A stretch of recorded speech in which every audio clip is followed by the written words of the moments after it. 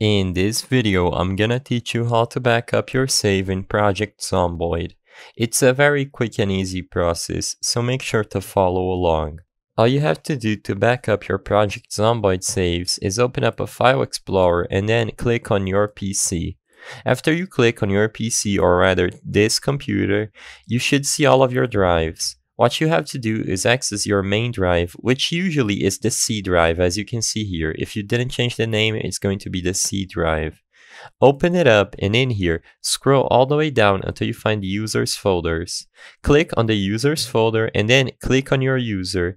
This is just going to be your name or something else that you set it to. Within your folder, what you have to do here is look for the Project Zomboid folder. As you as you can see here it is and after you open it up you should have the saves folder and a bunch of other items.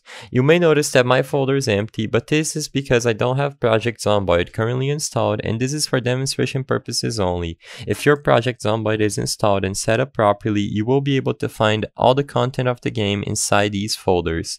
You can either save the entirety of the zomboid folder or simply copy the saves folder over to a safe place where you can make a backup and keep all of your saves safe.